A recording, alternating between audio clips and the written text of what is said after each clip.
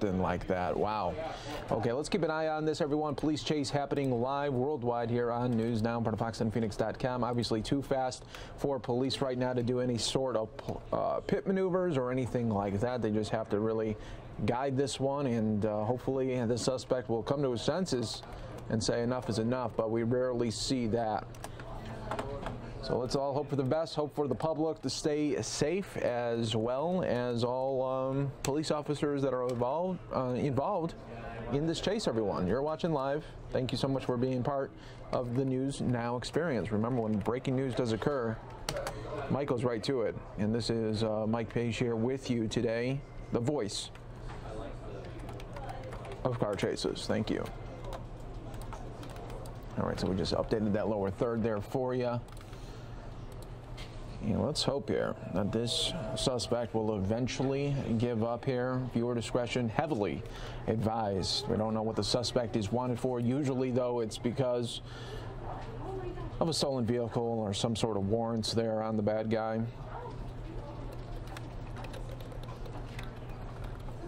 We'll keep an eye on this for you, give you a play-by-play as it is happening. Thanks so much for being part of the News Now experience, News Now stream. Look, you can see about 15 police cars behind this suspect here, and it doesn't look like uh, the suspect wants to take any exits.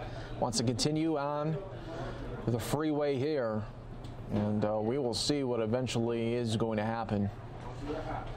It's always these things. People ask me, they say, Mike, why do you think people just are just so in love with police chases. And I say, I think it's because you want to see how they're all going to wrap up.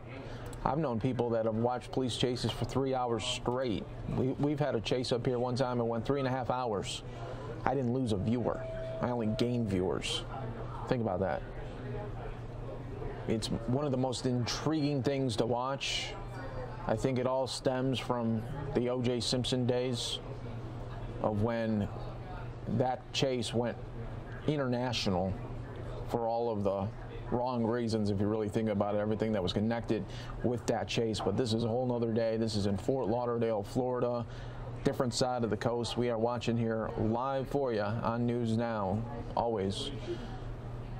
We are your source for police chases. We, I mean, we bring it to you from not only Florida, but from Texas, right here in Arizona, and of course, the police chase capital, Los Angeles. So let's hope uh, eventually the suspect's going to come to his senses or her senses. We don't know what the suspect is, male or female.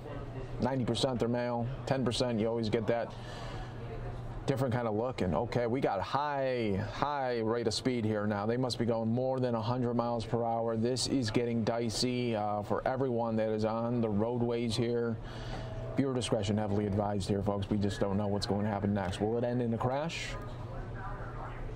Will he finally give up? This guy doesn't look like he wants to give up tomorrow. He wants to he wants to do this all day.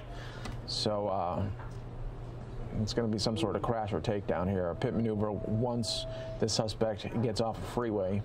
I mean, you're you're, you're talking about 515 in the evening now there. Should be rush hour, but looks like he has a free range. See how it's tilt um, swaying so much there, folks? He has not a good control whatever the reason is because he's swaying so much. But look at what we got here, folks. Now as we zoom in here, that's a Corvette. We have a Corvette chase going on here on News Now. Corvette chase, so you know these speeds are going to get up there, you know. The handling is going to be quite good, but giving the look that I'm seeing when he's swaying, I'm not sure about that. Stay right here with us. It looks like could he be getting off? Wow, he's getting off the freeway here. Uh, those speeds will decrease now, and that's going to give the opportunity for police to do some sort of pit maneuver here. What's he doing? What's he doing? Okay, just a dead stop. Your discretion advised here. Police, uh, okay. Oh, no, not one of these again.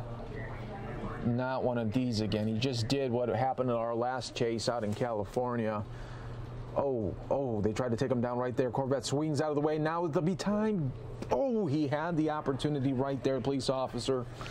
One more. He has another shot at it. Does he want to take it? No. I was mentioning the last chase we were having. This the suspect was doing the same thing, the stop and go stuff. Look at, man, they had him. They had him right there, trying to get off. Now he's back on the. Oh boy, come on, do it right there. One more shot. One more shot. Oh man. And folks, we are back at it. The Corvette Show continues here on News Now, part of Fox10Phoenix.com, Fort Lauderdale, Florida. Hoping all police officers stay safe. All everyone out there in the community as well. As you can see, cars trying to pull over here. They know what's going on. They know they got 20 cars behind them. Okay, what's going on here? It's in the left lane here. Do a UE, can't do it. I told you he doesn't have good control, folks. Stay focused. We are focused here for you on News Now.